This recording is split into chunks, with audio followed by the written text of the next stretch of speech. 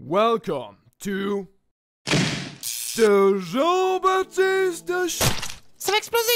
Vous voulez commencer Metal Gear Solid The Phantom Pain et vous avez peur de comprendre un baigné à car vous n'avez jamais joué au précédent opus, ou vous avez terminé le jeu et vous n'avez pas la moindre idée d'où sortent la moitié des personnages, ou vous voulez taper simplement MST mais ça donnait MGS, eh bien laissez-moi vous spoiler tous les Metal Gear Solid qui précèdent The Phantom Pain. Ah, et je vous recommande aussi fortement de voir le spoil qui peut sur les Metal Gear Solid qui se déroulent après The Phantom Pain, pour éviter de ne comprendre que la moitié de ce qu'il se passe? Avant de commencer, sachez que je vais résumer ici 4 jeux en moins de 6 minutes. Je vais couvrir la majorité des événements d'une grosse période de la série, mais vous allez passer à côté de beaucoup de personnages, d'événements et d'une mise en scène qui a fait la renommée de la série. C'est pourquoi, même après avoir vu cette vidéo, je vous invite grandement à faire les 4 jeux que je vais résumer ici, qui sont encore très abordables graphiquement parlant et tout simplement cultes.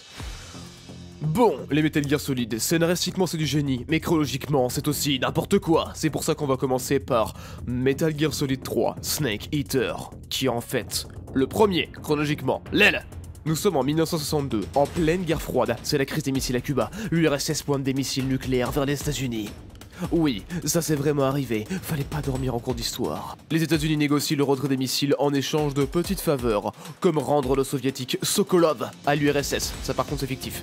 Et bim En 1964, la CIA se réveille et se dit Mais euh, attendez, Sokolov en fait il sait faire des fusées, c'était pas une super idée là ce qu'on a fait. Du coup, plan d'urgence, on envoie Naked Snake de l'unité secrète Fox pour récupérer Sokolov. Manque de peau, Naked Snake se fait latter la par The Boss, son mentor qui lui a tout appris, et accessoirement le meilleur soldat du monde, qui a quasiment gagné la guerre à elle toute seule. Sauf que là, elle bosse pour les Russes du coup, les méchants tirent un missile sur l'URSS qui accuse les USA. Du coup, la CIA renvoie Naked Snake en espérant qu'il va pas se faire latter la chetron cette fois-ci.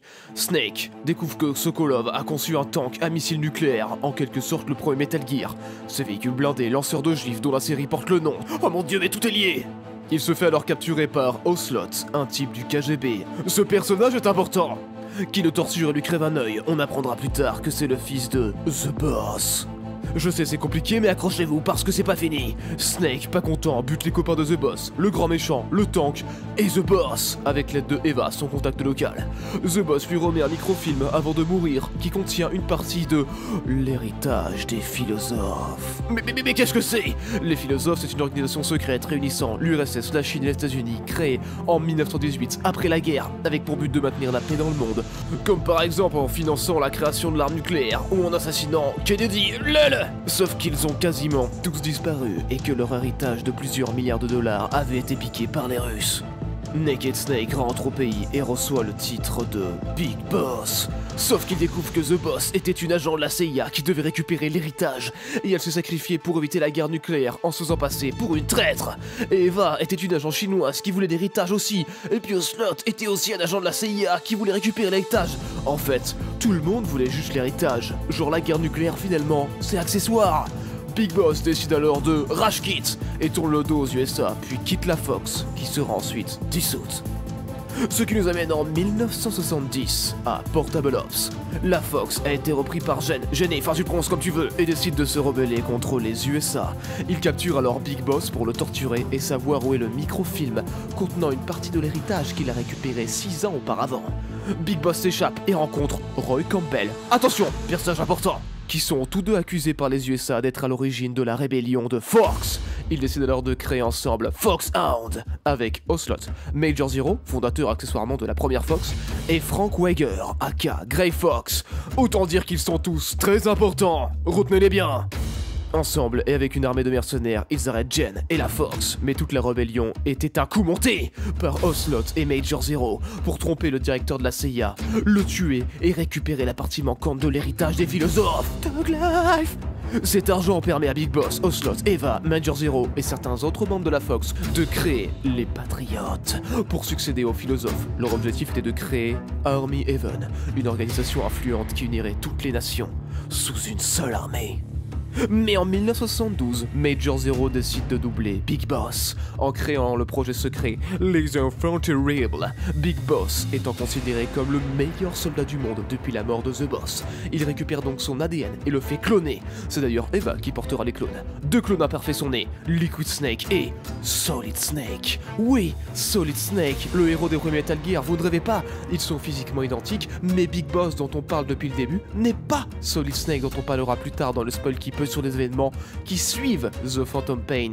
Oui, parce que Solid Snake est très loin d'être apte à sauver le monde actuellement, ce qui m'amène à parler du troisième clone, un clone parfait créé secrètement sous le nom de Solidus Snake. Autant dire qu'ils sont tous les trois très importants. Mais Big Boss, le vrai, l'unique, l'original, découvre la supercherie et rage quitte encore en abandonnant Foxhound. Il décide alors de former le MSF, les militaires sans frontières, avec l'aide de Case Miller, Accrochez-vous, c'est bientôt fini. C'est alors que deux ans plus tard, dans l'épisode Peace Walker, le MSF est appelé à l'aide par deux agents du Costa Rica, Galvez et Paz. Autant dire qu'ils sont très importants pour libérer le Costa Rica d'une invasion d'un groupe de militaires dirigé par la CIA. Oui, oui, l'Amérique. Big Boss découvre alors qu'un Metal Gear, le Peace Walker, a été créé avec la personnalité de The Boss pour riposter son état d'âme en cas d'attaque nucléaire. C'est alors que Galvez s'avère être en réalité Zadornov, un agent russe, et active le Peace Walker pour qu'il lance un missile sur les États-Unis. C'est alors que la personnalité de The Boss dans le Metal Gear décide de se suicider. Oui, encore. Big Boss construit alors la Mother Base pour le MSF avec l'aide de Miller, ainsi qu'un Metal Gear du nom de Zeke. Galvez échappe, puis est tué par Big Boss, ce qui a servi à Paz de diversion pour prendre le contrôle de Zeke. Paz est en réalité une agent travaillant pour Major Zero. Rappelez-vous, si Big Boss ne donne pas le contrôle du MSF à Major Zero, alors Paz tire un missile nucléaire sur les USA pour que le MSF soit anéanti par l'armée américaine. Big Boss refuse, met hors service le Metal Gear et laisse passe pour morte. Il décide alors de fonder Outer Heaven, une nation pour son armée qui suivrait ses idéaux. Nous arrivons alors au dernier épisode. Un an plus tard, en 1975, dans Ground Zero, les Nations Unies soupçonnent le MSF d'avoir une arme nucléaire et demandent une investigation.